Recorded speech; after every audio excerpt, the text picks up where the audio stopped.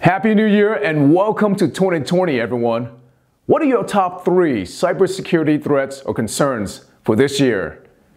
Today, I'm going to share with you my top three, and then I'm going to dive deep into one that I know we're going to see a significant surge in attacks this year, and then I'm going to end with a demo using a social engineering tool to harvest credentials that could be used for spear phishing campaign.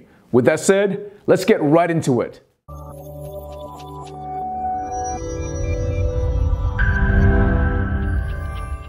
For 2020 and this decade, we're going to see an explosion of innovations that will reshape our lives and transform our society in positive ways. We're going to see advances occur in AI, quantum computing, blockchain, cryptocurrency. Now, these same developments from a security perspective also introduce risk and cause negative societal disruptions. With that said, my first concern for 2020 has to do with supply chain attacks, also known as value chain or third-party vendors. Now, let me explain to you how that works. Here is your typical threat actor, a retired grandfather from a forgotten corner of the world, exploiting a vulnerability exists in a supplier's hardware or software, and then infiltrates into a customer's network. Now, we've seen this happen with the Equifax uh, breach where they failed to patch the Apache Struts vulnerability. Threat actors target suppliers, particularly uh, smaller organizations, because they know that they don't have the same level of security controls in place like those of larger organizations.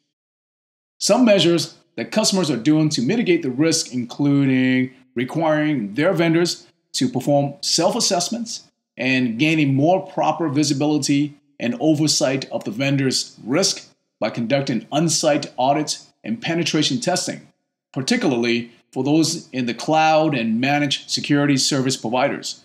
Additionally, some customers who share common vendors have teamed up to conduct reviews and ongoing assessments. For example, American Express, Bank of America, JP Morgan, and Wells Fargo Bank created a vendor assessment service called TrueSight now, my second concern has to do with insider threats. These are malicious threats that may involve fraud or the theft of intellectual property or the theft of sensitive information or just simply sabotaging computer systems uh, from people within the organization. Now, there are two types of insider threats, so let me explain to you those two types. The first is malicious insiders. Here we have a set of innocent looking folks, but don't let their looks deceive you. These are people who misuse or abuse their role and access with the intention of inflicting harm on an organization. The second is negligent insiders. These are people who commit mistakes intentionally or unintentionally that put the organization at risk. So, what can we do about it? We can implement administrative controls such as least privilege access, separation of duties, and have proper candidate screening and hiring controls in place to deter and prevent insider attacks. So, my third concern has to do with malicious software, also known as malware. Now, malware is a term that describes any malicious code or program that is harmful to a computer system. Now, you may have heard of virus, worms, Trojan, spyware, adware, as well as ransomware. Now, they are all designed with the intention of stealing, deleting, or encrypting data. Also, they modify and hijack computer functions, including spying on your computer's activity without your permissions or your uh, knowledge. Now, for the rest of this video, I'm going to focus on ransomware because I know we're going to see a huge spike in attacks this year because the cyber criminals have figured out a proven and profitable business model with ransomware. Now, the cyber criminals are more sophisticated, they are more innovative, and they are more creative with their attacks. Now, gone are the days of the tactics of spray and pray, blast phishing attacks. Now, there are more targeted, there are more tailored attacks going forward. With that, I'm going to spend the rest of the video explaining to you what ransomware is, how it works, and what you can do to prevent your company or your organization from falling victim to ransomware. What is ransomware? In layman's terms, ransomware prevents users from accessing their system or personal files and demands ransom payments in order to regain access. There are different types of ransomware, such as screen lockers and scareware, but I focus mainly on the encrypting ransomware as shown here on the screen because it is effective and it has proven to make a profit for the cyber criminals. With the new business model, once the cyber criminals gain a foothold into an organization's network, they will first exfiltrate the data, search and delete any backups, and then encrypt the files. With the data on hand, they will put pressure on organizations to pay ransom to obtain the decryption keys. If the organizations don't comply, they will threat to publish the data, expect the ransoms or cyber extortion amount to be much larger, as we've seen it with TravelX. The ransom was 6 million versus tens or hundreds of thousands uh, when compared to previous years. We see more attacks targeting state and local government organizations, hospitals, and schools as they are the most vulnerable and ill prepared to respond. So, how does ransomware enter into an organization? There are different methods to infect an organization with ransomware. The infection vectors include installing and downloading infected software and applications, accessing infected external storage devices or compromised websites. But the go to method of attack is still social engineering, opening email attachments, clicking on links from untrusted source. So, what can organizations do to prevent and prepare for ransomware? One, backup critical data and have backups ready to go. Ideally, store backups in a different locations uh, with high level encryption and multi factor authentications, since ransomware is known to target and delete backups. Two, patch and update software, particularly legacy systems that are susceptible to attacks. And three, end user is still the weakest link, so bolster training and awareness program.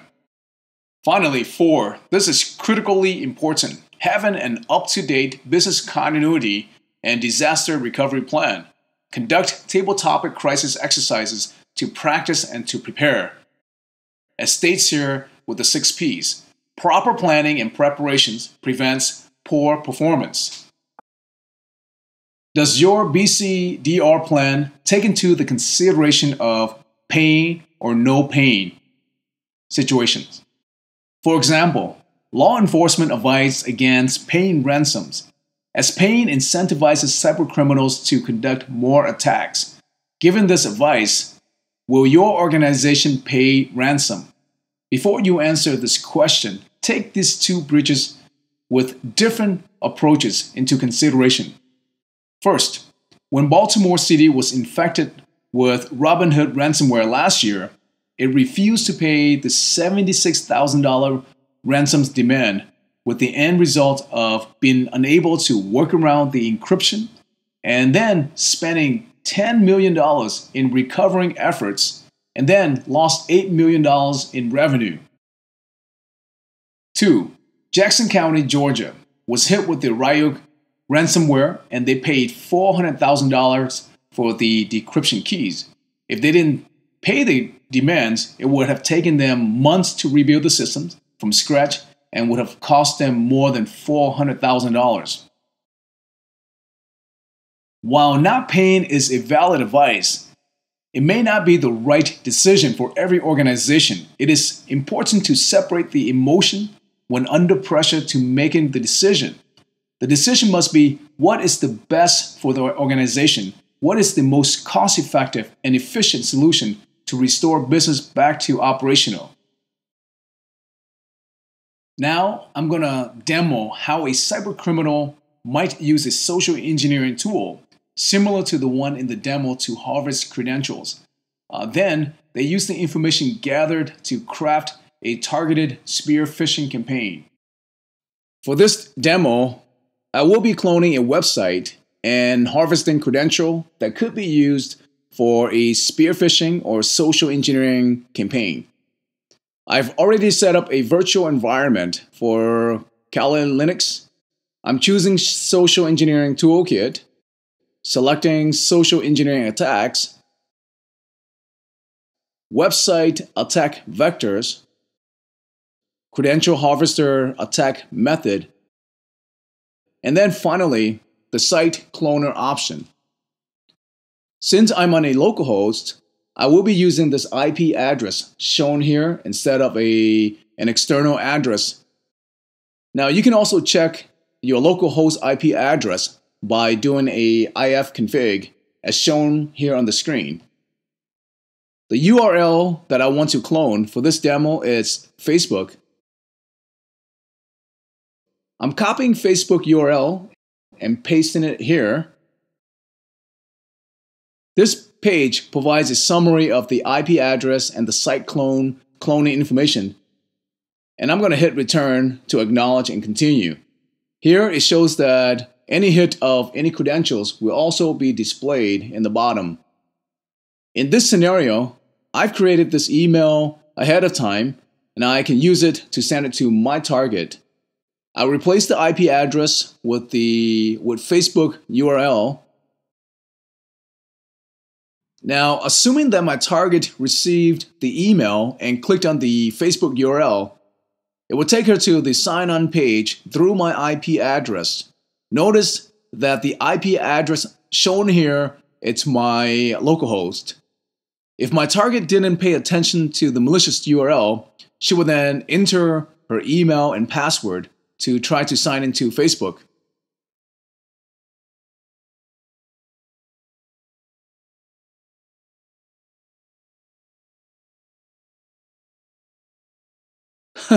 Only if I could type. She would then click login. Here, I'm going to show the password that my target provided. Her username is this is a test only, and this is her password. Now, it'll take her back to the login screen, but notice that now it has the correct, legitimate Facebook URL. My target could be thinking that she had entered the uh, wrong username or password. In the background, her credential has been logged and you can see it right here.